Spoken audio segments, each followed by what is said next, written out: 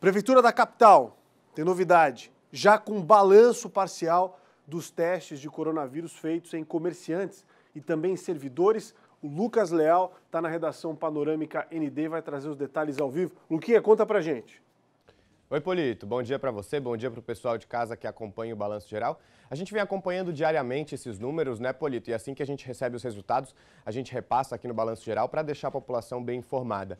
Essa é uma iniciativa bem importante porque busca identificar os casos assintomáticos e assim isolar eles o mais rapidamente possível, evitando assim a contaminação pelo novo coronavírus aqui na capital. Agora vamos aos números, Polito. Dos comerciantes, foram realizados 1.239 testes. Desse número, 27 receberam o diagnóstico positivo para o novo coronavírus. Agora, os funcionários das academias que também estão sendo testados, foram realizados aí 200, é, desculpe, 792 testes. Desse número, cerca de 27 é, receberam, não, desculpe, cerca de 10 receberam o diagnóstico positivo dos funcionários das academias. Agora, os servidores aqui da capital também estão sendo testados, Polito. Os servidores da assistência social foram testados, foram realizados aí 455 testes e 8 receberam o diagnóstico positivo. Já os servidores da Secretaria de Infraestrutura da capital também fizeram esse teste, 218 servidores realizaram o teste